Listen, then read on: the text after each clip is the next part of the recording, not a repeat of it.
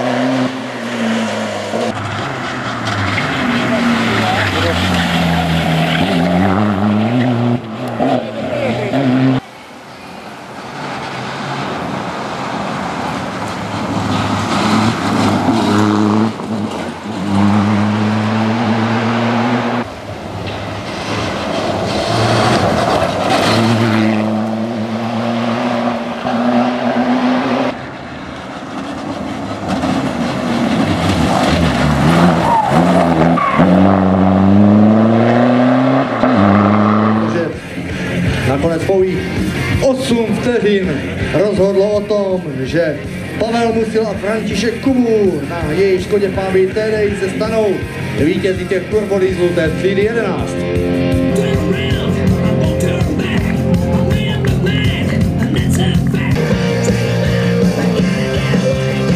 Tak ten diesel nám tady pěkně ještě předvedl to, co...